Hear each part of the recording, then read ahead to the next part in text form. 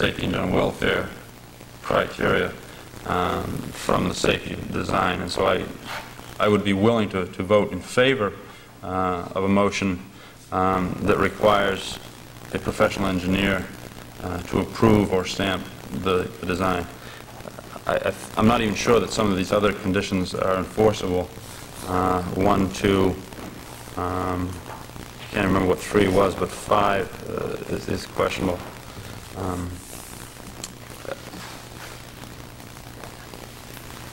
I guess as it stands right now, I, I would um, vote in opposition to this um, only because I don't want to belabor this application with uh, extensive conditions I'm not even sure we can en- enforce, uh, nor do I want to belabor it. There's just, from my one, one opinion, uh, there's only one criteria that, um, uh, that I, I think is necessary, and that is uh, the requirement for um, being stamped or approved by a registered or licensed engineer. Any other comments?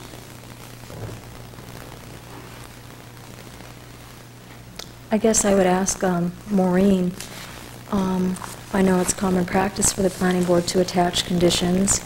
Um, We have often required um, necessary approvals prior to construction activity, so I think that's a legitimate request.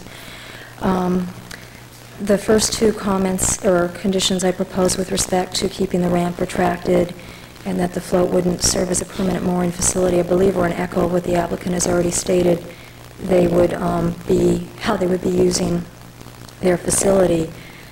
And I guess I propose them to um, allay abutters' fears that this could easily be dropped down or used in a more permanent manner, and that is what the applicant has said he's not going to do. I, I can't answer the legality, though, of the requirement. Mr. Chairman, I I just think that that's one instance where we're making conditions, something this this board doesn't necessarily have the the the right to uh, um, to enforce.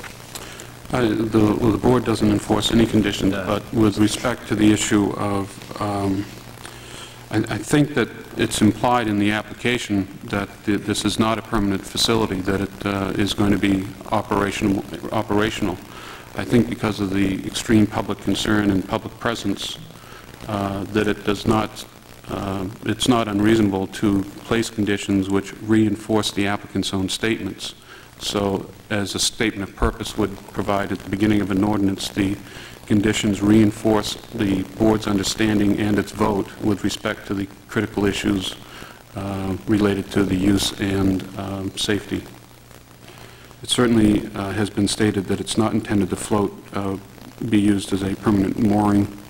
Uh, I think that's, again, to um, reaffir- reaffirm that. I think it's a reasonable condition to place, so that there's absolutely no misunderstanding of the representation of the application before the board. Mooring permits, again, are to get back at the issue that was raised by Mr. Parkhurst with respect to concerns with respect to the chains and, and, and uh, relationship to other moorings, uh, and, and that, again, I would want the uh, harbor master to review those as part of our uh, approval uh, before the applicant goes out and, a a review and approve prior to the applicant going out and being issued a building permit. Um, To have a registered engineer engineer certify or stamp uh, the plans, a structural engineer in particular, I think is a reasonable request. Um, Mr. Moran uh, of T.Y. Lin is a is a civil engineer, I believe, um, and perhaps even their structural engineers don't have expertise in this design field, but I think that's a reasonable request to deal with the issues of of safety that we've heard, and to provide a preliminary assurance- assurances with respect to the operational ability of of the structure.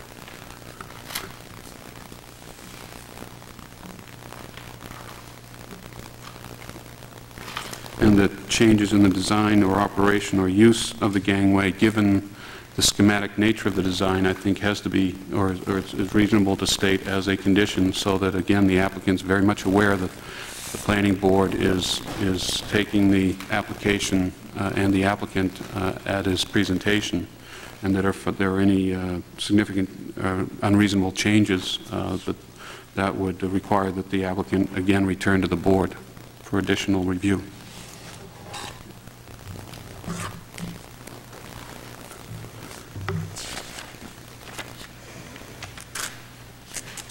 Okay. Well, we have a, we have a motion, we have a a second, and we have discussions. Any other comments? I have one question. Where do we go from here? Okay. Uh, Is everyone clear on, on the, on the uh, conditions? I guess at this point I would add one more condition, and that the uh, natural resource protection uh, permit application and any other related permits uh, reflect the approval that's being granted tonight, and that if necessary, they, they be revised and resubmitted.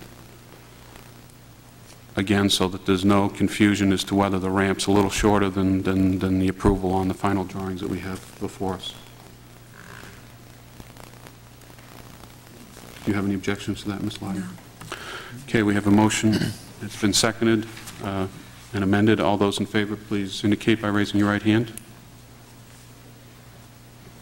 All those against? Motion carries three, four, two against. Simple majority. Yeah. You have your approval.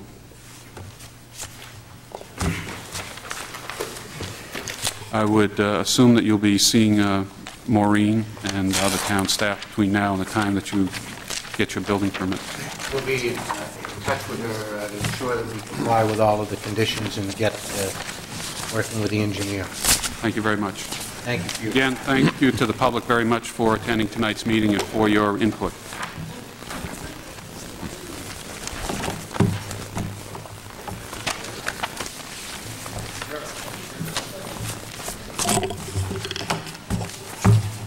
Next item on this evening's agenda under new business is a Hillman Public Access Waiver, a request by Sheila uh, Hillman for public access waiver to create an additional lot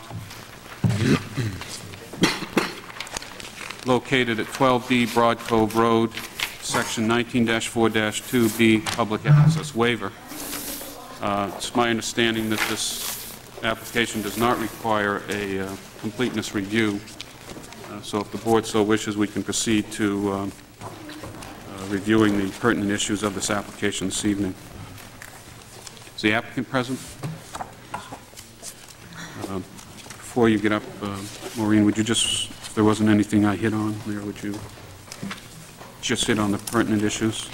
Um, Mrs. Hillman did, did, was on the agenda for last month, and um, at my suggestion, agreed to uh, hold her project back a month so that she was able to make some changes to the plan to reflect the re- the requests of town staff. You have, I believe, attached, hopefully, to your memo, uh, comments from town staff, and the vast majority of those comments have been addressed.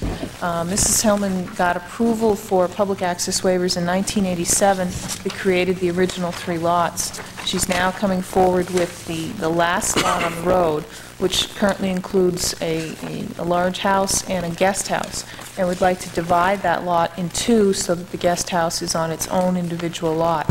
And for that, while it does not require any subdivision review, it does require a public access waiver because it's a private road that it has frontage on and not a public road. Um, I believe, uh, as I I stated in my memo, that most of the issues that have been identified by town staff have been addressed. Uh, One of the outstanding issues is, is the Public Works Director's request that the first 50 feet in from um, Broad Cove Road be paved, and, and again, that's, that's his uh, concern, which he's expressed in the past, that the spray of gravel not, not continue on to a town road. Are any questions? Would the applicant wish to make a brief uh, introduction or presentation? Uh, I'm Sheila Hillman, the owner of the property in question. I really have nothing to add to this. The, uh, the original 8.6 plus acres would now be divided into uh, two smaller parcels, one of 3.3, and that house would be freestanding. It would essentially leave the, the entire estate, which I have always thought of in terms of its entirety because it's the last of the Davis estate, uh, for the people who originally owned all of Broad Cove. And it virtually leaves the property intact as it has been since 1987 with four dwellings. And it's the final request to come from me, so Uh, Would you please comment on the issue with respect to the uh, paving of the first 50 feet of the driveway? Yes, I would be happy to. We uh, do a lot of road work as a group. We're responsible. And we have the road graded once and sometimes twice a year. And the la, two years ago, we had, instead of gravel, we had Blue Rock's deep grade base used, which is a very excellent material. It's, it's quite an upgrade from gravel. It becomes very dense and very hard immediately, and it is also supposed to track less gravel. Uh, So that is one of the reasons, uh, a purely practical reason that I'm asking that be waived. The other is, is more emotional, and it is really just the fact that since we've owned the property for 13 years, we have, I think, been imposed on ourselves really strict standards as to what should happen to the property. If I put 50 feet of hardtop, I'm going to be reminded every time I drive through those stone pillars that I have failed in my own standards.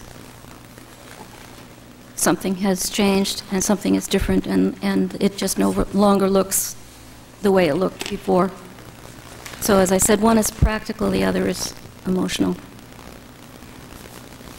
Apparently, the town, the town engineer was not familiar with this, with this base. Uh, Peter Jellin of Blue Rock could probably um, attest to it, although I don't have any information from him. And Jimmy Murray could also attest to it because he's the one who does our road work, and the last time he came, he brought many, many truckloads of this stuff, and it's very expensive. Thank you. Uh, How would the board like to proceed? Ms. Lardner? Um, I have a question for Maureen. I know this is our standard, but I'm curious, has there been some particular complaint from Public Works about the amount of gravel that's been deposited on Broad Cove Road? Not on this particular road, it's just, it's a general request that they make for all gravel roads that abut town roads. Okay, then, my other question is, we have waived this before, haven't we, on Old Ocean House Road, similar kind of estate setting? That, yes, you have waived in the past. And then I guess my last question, I might have missed it, is there was the issue of a turnaround. That has been addressed to the satisfaction of the staff members that raised it? In 1987, there was a turnaround design for the original, uh, for the original lots. Uh, It was mostly constructed as proposed in 1987. The uh, fire chief went up there with a ladder truck not too long ago, asked Mrs. Hillman to remove a couple of trees, and and was satisfied with the turnaround that's out there right now. And so he he's basically said that he he can live with it the way it is. Okay, thank you. Um, If I can just speak to the, uh, Ms. Parkhurst? the, I'm sorry, the uh, roadway issue, I drive by that uh, twice a day at least, uh, going home or leaving, but I have never noticed any gravel spilling out from this particular roadway onto Broad Cove Road. So I, for one, would not uh, have any aversion at all to waiving that 50-foot paving requirement. Mr. Edsel? Mr. Chairman, um, just two things. Um, I was hoping that Mr. Man- Manthorn would be here um, to walk me through the the uh, the second paragraph of his letter, um, where it deals with nine inches to ledge, and and the the two sections, 1526B and 1527C. It's like a nut and shell game, but it- it, um, I, in this case, Mr. Manthorn is very knowledgeable about this and the replacement system uh, process. I I- I trust his, uh, uh, I was hoping he would be here to walk me through it personally, just so I'd gain the knowledge of- of uh, how that works. Um, I find that that that's acceptable and that uh, it goes under the review of uh, code enforcement officer anyway. I think the issue of- of uh, of tying the first 50 feet um, is, uh, number one, a request of of our Public Works Director. Um, We typically follow his his request, we don't always. Um, There are, uh, the most recent uh, um, waiver of that, I believe, was um, Rosewood, too many Rose subdivisions, but the, Mr. Fistachi's. Either it was not, either it was not waived, or during construction, when it was not tarred, uh, there's a significant amount of gravel that washes out. Uh, I I think the the times when we waive that is when the slope slopes away from or down from um, the public road. Um, It's a safety issue, it's a, uh, of kicking gravel, I think there's a conscious decision to, in essence, create the, with this piece of land, um, a subdivision, albeit, except for the exception of, of of the passing of time, uh, into four lots, uh, I believe four or five, four lots, um, which creates more road travel. And- And uh, I think that that's a, a request that we should uphold. That's all the comments I have. Thank you. Any other board members uh, have any comments? Mr. Wilcox? No. Mr. Carlson? Peter? No. Okay. Uh, I have uh, two questions. Um, One with respect to the gravel. Um, I think one thing that the board always is concerned about is the issue of rural character in the town, and uh, we've spoken a lot at uh, our workshop meetings about town character and trying to develop road standards that are, would preserve town character, and we're particularly concerned with a New Jerseyfication, so to speak, of uh, Cape Elizabeth, which it's just ripe for because there are so many dead-end conditions because of it being a radial town and and located on the, on the coast. Uh, Along with that is, uh, even as, as a landscape architect, my consistent uh, experience with, with gravels placed next to uh, paved hard surfaces, that inevitably they will, they will, um, the the gravel will be churned up because people either uh, having to accelerate to get out because of plows or whatever. Uh, And as Steve said before, or Mr. Etzel said before, that can be a safety issue. Uh, I also like to give the uh, Public Works Director the benefit of the doubt, um, but I would be very, um, at the same time I'm concerned with, with the safety issues, I'm also very interested in a way of stabilizing uh, gravels other than just uh, crushed bluestone gravel, nice um, variable grade material with a lot of granite, crushed granite, and a way of stabilizing that so you don't have to worry about uh, putting black asphalt uh, over the surface so that you can maintain the rural character, because uh, the example that I think of all the time is the Keystone courtyards in Europe uh, and in Canada that are, that are very lovely, and the reason we don't have them here is because when the snowplow hits them, uh, the pea stone gets shot, either gets shot out a snowblower or ends up at the end of your driveway. Um, So I don't wish to, uh, I guess there are two ways of dealing with this. There are three ways. One is not to require it or to waive it completely. One is to find a compromise, that is to have a shorter section paved, perhaps the length of an automobile makes some sense, given that uh, the major issue of acceleration, de- deacceleration, and spilling of gravels onto the roadway are primarily at that first 20 feet, not necessarily 50 feet, except for a moving van. van. Uh, And lastly is to either shorten it and use our standard road base, or to find other uh, emulsion placed directly on the gravel uh, that's less impacting than, than just hard asphalt and maintains rural character. So uh, if the board, uh, that's one other way of dealing with the waiver issue. Uh, I think what I would like to, to propose is some sort of a compromise where you use a liquid emulsion, place that down, and then place the same material that you have on the surface now, uh, press that into the emulsion, and that will leave the material that you have uh, visible but, but more stabilized. It won't last forever, but it's, it's uh, more in keeping with the rural character, and I believe less expensive than full base construction. Uh, With that, are there any other comments? Do I hear a motion?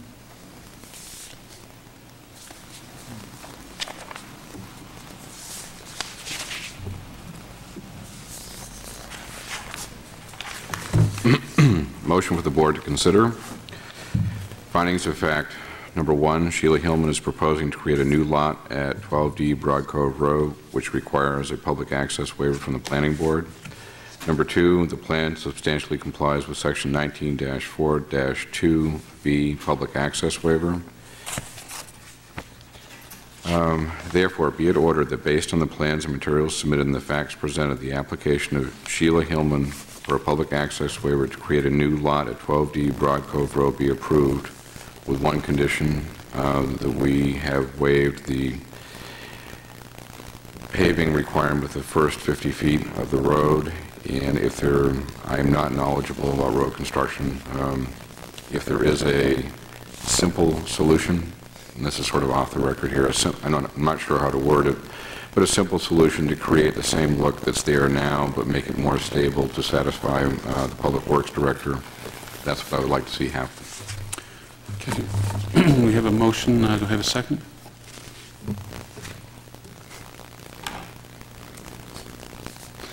I'll second it for discussion purposes.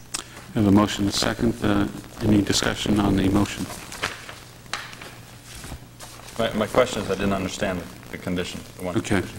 The condition would be that some distance, I don't know if Steve was specific to the 50 feet, but that some distance for the first um, 30 to 50 feet, whatever we decide, uh, would be stabilized, would, to use a technical term, would be a chip seal-like construction.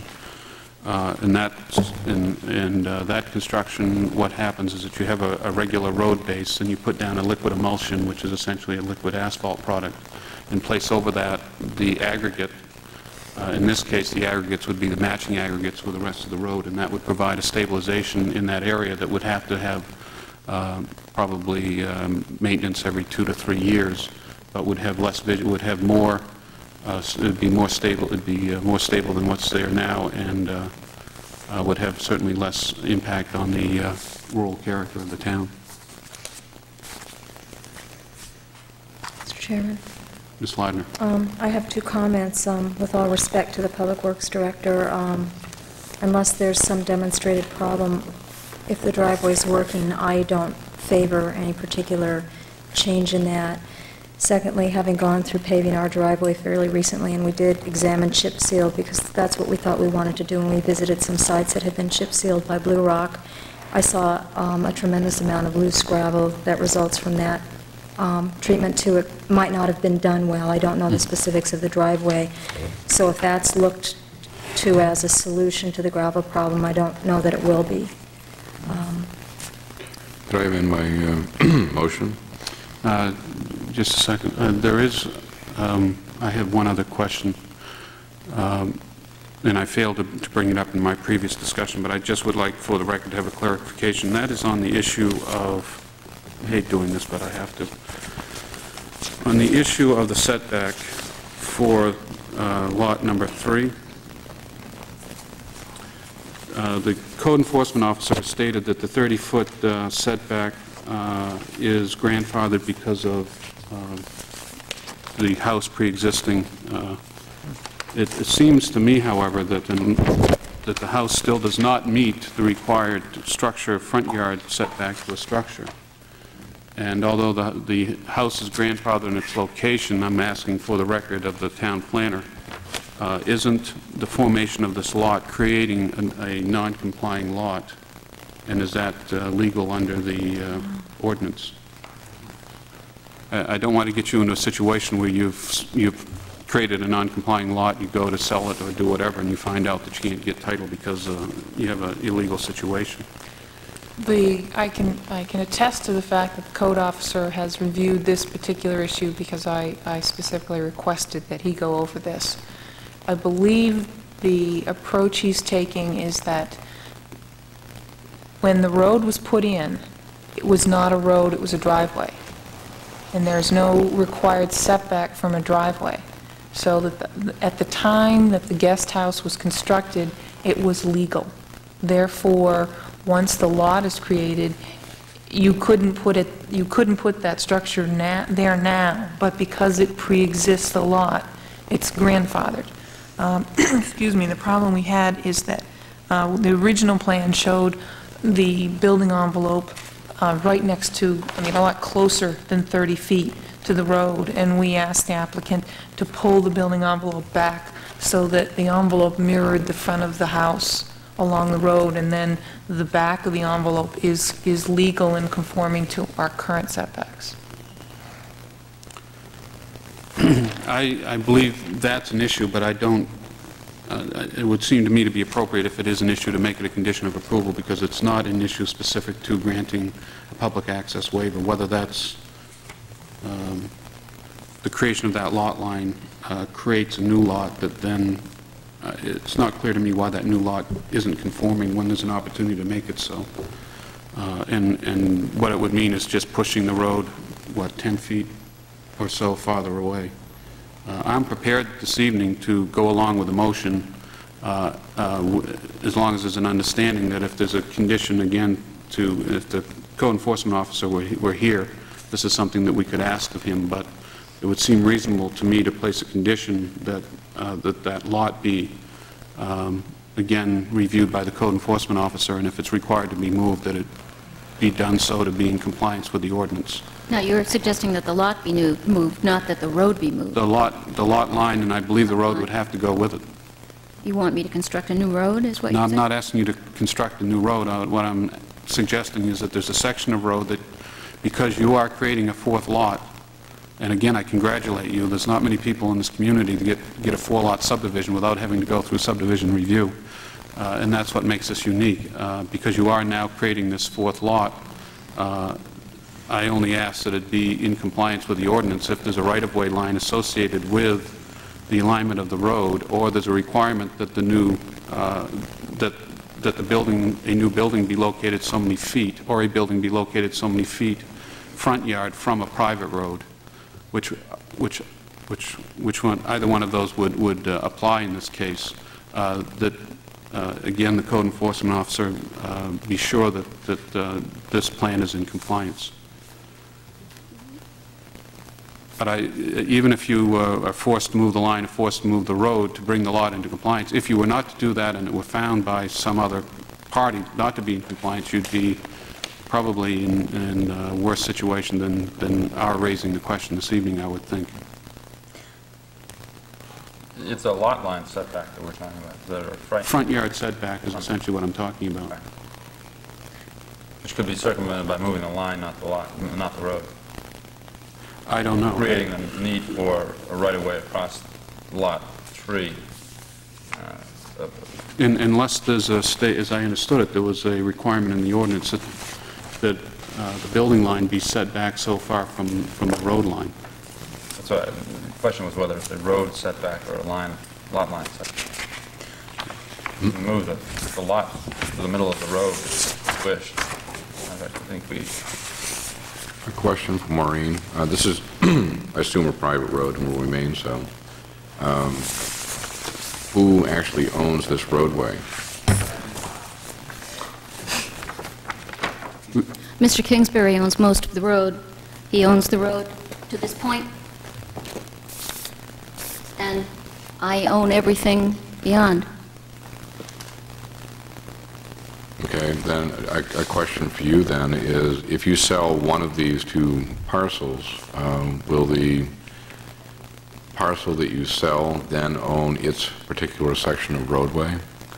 As the lines are drawn now, lot number 3A will own all of that road, and the new parcel, now labeled 3, will own no road, Whatever. but will have rights, utility rights across it, which have been added as, as a note on the plan.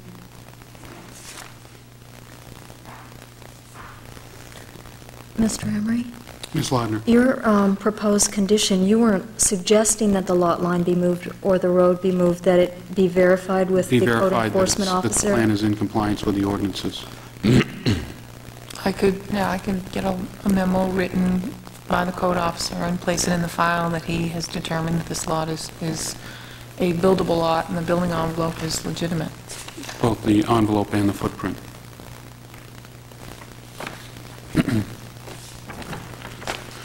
Okay, um, I guess we have a, uh, we have a motion before of us, before us, it's been seconded, and the discussion was uh, the issue of both the uh, compliance of the lot and the issue of the pavement of the first 50 feet. Okay, I I wish to change my motion if I could. Go ahead. Okay. um, You want me to read the whole thing again? or No, I just just- want to drop the the last condition I placed on it and just have it simply state that um, that we waived the requirement for pavement for the first 50 feet. Okay, do you want to add a condition with respect to the issue of the uh, front yard? Uh, I think that, can that be done administratively? Does that need to be part of the motion? Part of the motion. Okay. Um, Then, let's see, condition that um, code enforcement, or, code enforcement officer write a memo to be placed in the file, uh, the appropriate file for this property, uh, stating that it is a conforming lot at his earliest convenience.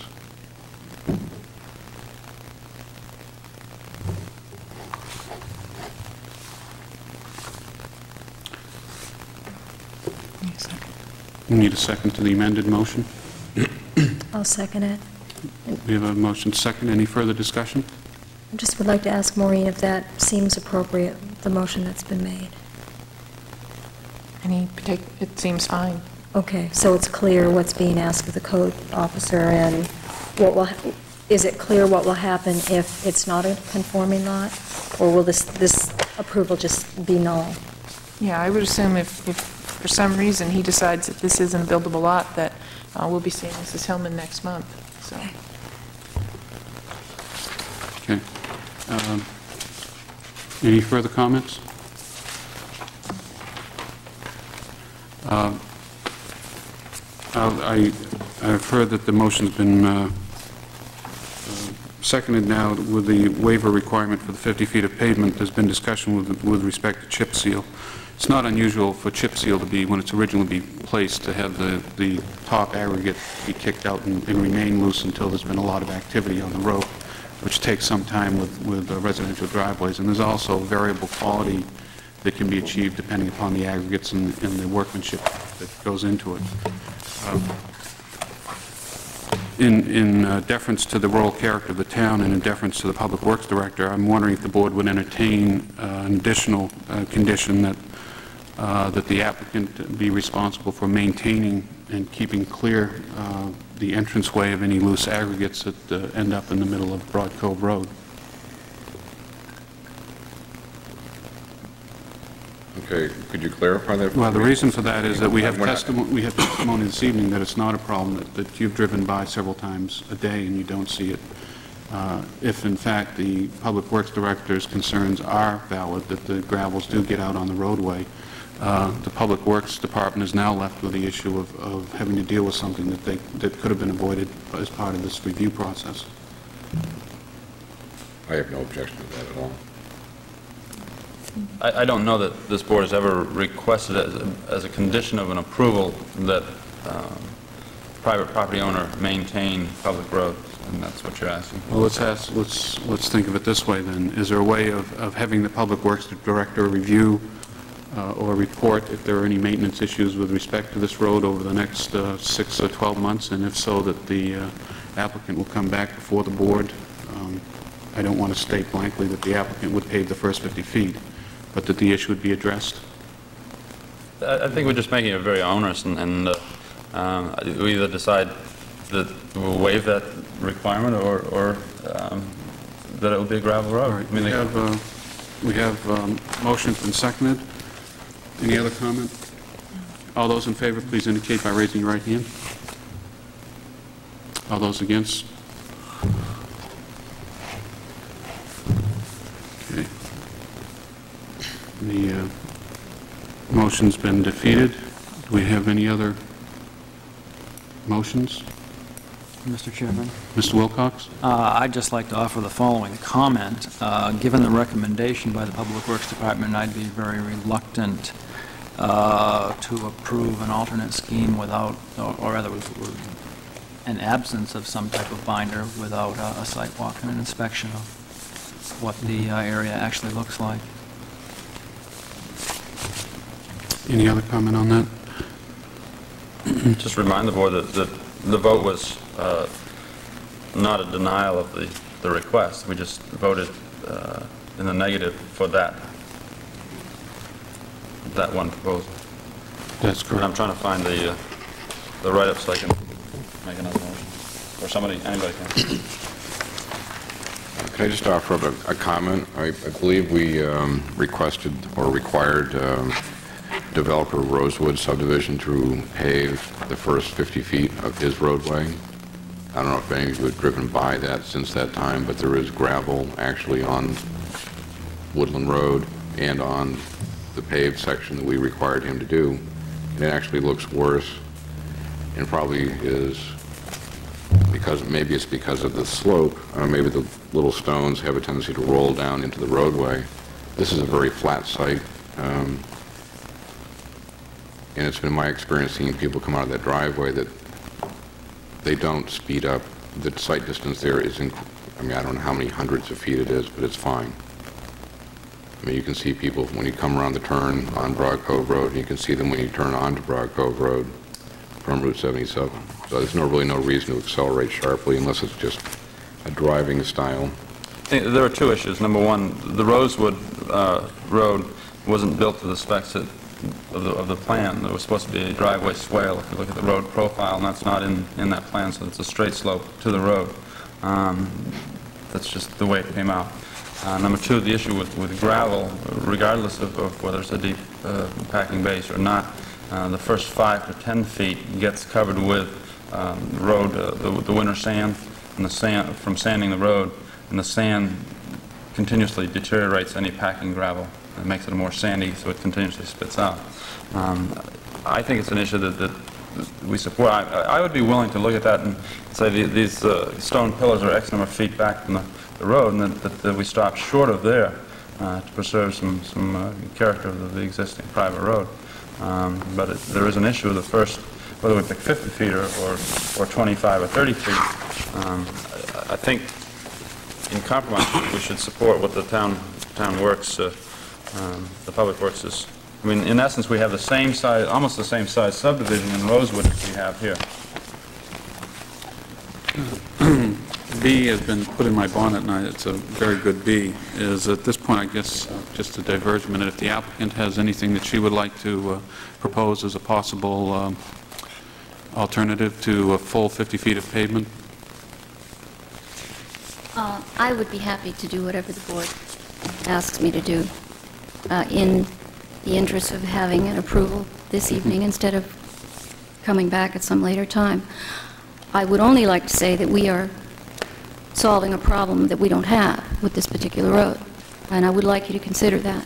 We do not track gravel onto Broad Cove Road. We do not track rain. We do not track anything. We are very careful owners. Mr. Kingsbury, I think, can attest to the amount of funds that we have put into keeping this road the way a, a different board from this asked me to keep it in 1987. Mm-hmm. If anything, we have improved it since then, and we will continue to improve it. I am very willing to do whatever the board says. I would hope that if we are going to put some new surface down, that it would end short of the pillars.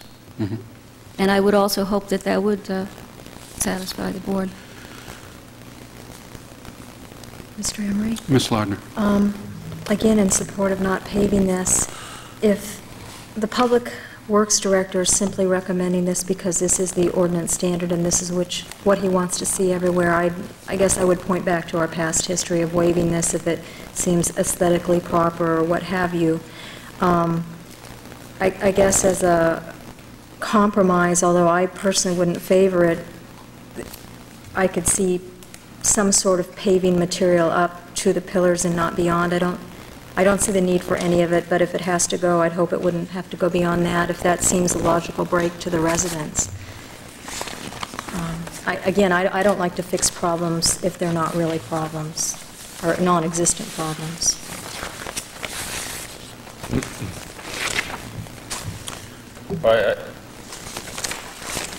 As a compromise, I would see that, that that the paving would not be from the property line, the paving, paving would be from road edge, and so if we went back either 25 or 30 feet, you'd still short- end up short of of the stone pillars by 15 feet or so.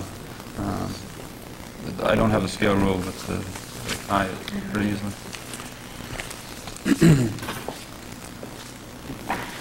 Well, the scale of the plan is one inch equals 50 feet. It's about 35 feet from the roadway. It seemed to me that 30 feet with any normal automobile is certainly uh, more than adequate uh, as a, as an apron approach to a, to a road. And uh, it seems to me as a compromise, as a mid-level investment uh, for the applicant to, to think it's something that's appropriate, that's um, acceptable to the Public Works Director, like a chip seal, particularly if you can use the same aggregate that's already there. Uh, Even if you were to use something, and I know this wouldn't last very long, but something as a cementitious-type admixture that would enhance the compaction of it, uh, again, it would kick out over time, but it would be something that could be maintained every year. Uh, Or, I'm not going to use the word oils, because that perhaps is not environmentally sound, but that was traditionally the method used. I I think, uh, Tom, uh, Mr. Emery, that if you can um, give me a term, that I'll be willing to to propose a motion for either um, uh, asphalt paving or whatever the term is. That that the first, that the uh, first 30 feet be stabilized with an emulsion based over which matching aggregates will be placed and compacted. I said a simple term. Chip seal, chip seal using matching aggregates Acceptable to the Public Works Director? As accepted by the Public Works Director. including, okay. I have a a motion for the board to consider, findings of fact. Sheila Hillman is proposing to create a new lot at 12D Broad Cove Road, which requires a public access waiver from the planning board. Number two, the plan substantially complies with section 19-4-2B, public access waiver. Therefore, be it ordered that, based on the plans and the materials submitted and the facts presented, the application of Sheila Hillman for public access waiver be to create a new lot at 12D Broad Cove Road be approved, subject to the following condition, that the first 25, thir- first 30 feet of the private road be either asphalt paved or substitute the terminology that Mr. Emery utilized, Chip seal Chip like seal. stabilization. like stabilization. Did you want to add, add the condition about the um, letter from the code enforcement officer for the file? As For- to, as to the... Yes, uh, I'm sorry. Change that to conditions. Number two, um, Code enforcement officer writing a letter for the file for this particular lot saying it's a conforming lot. amended as such. Thank you. Lot, uh, let's be, lot three, Three. Did you want to add to the first condition that was supposed to be acceptable to the Public Works Director? Yes. yes.